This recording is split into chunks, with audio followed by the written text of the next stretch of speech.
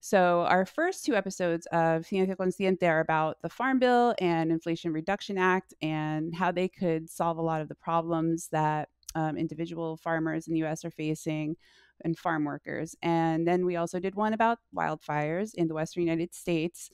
Um, and that was uh, based on our analysis from the summertime about fossil fuels behind forest fires. So um, we talked to some of our analysts and scientists here at UCS for those episodes.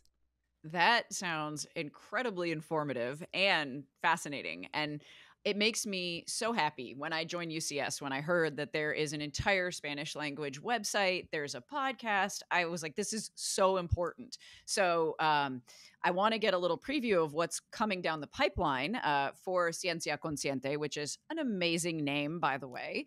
Um, and yeah, I mean, brilliant, brilliant choice there.